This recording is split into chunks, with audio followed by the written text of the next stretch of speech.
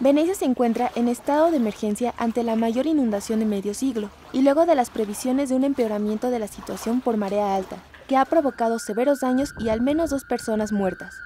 Las sirenas de alarma sonan en la ciudad, que la mañana de este viernes registró 115 centímetros el nivel de la marea, y el Centro de Previsión y de Información de Mareas de la ciudad reportó que el pronóstico de marea para Venecia se ha revisado hacia arriba desde los 150 centímetros hasta 160 centímetros en el Mar Medio.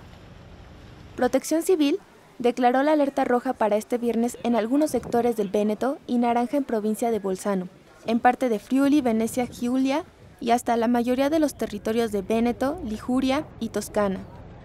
El pasado martes, en Venecia la marea alta subió hasta 187 centímetros, inundando la ciudad y sus monumentos históricos como la plaza y la basílica de San Marcos, hecho que dejó dos muertos. El Consejo de Ministros de Italia declaró este jueves el estado de emergencia en Venecia y destinó 20 millones de euros para indemnizar a particulares y empresarios afectados por la marea alta. Por su parte, el primer ministro italiano, Giuseppe Conte, apunta que está casi listo Moisés, un sistema de protección de mareas que prevé la construcción de decenas de compuertas para regular el flujo entre la laguna y el mar Adriático.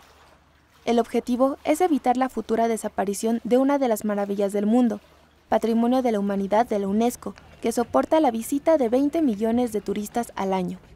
Sin embargo, según la ministra de las Infraestructuras, Paola de Micheli, el sistema cuya construcción empezó en 2003 con un costo de 5.500 millones de euros estará operativo hasta el 2021.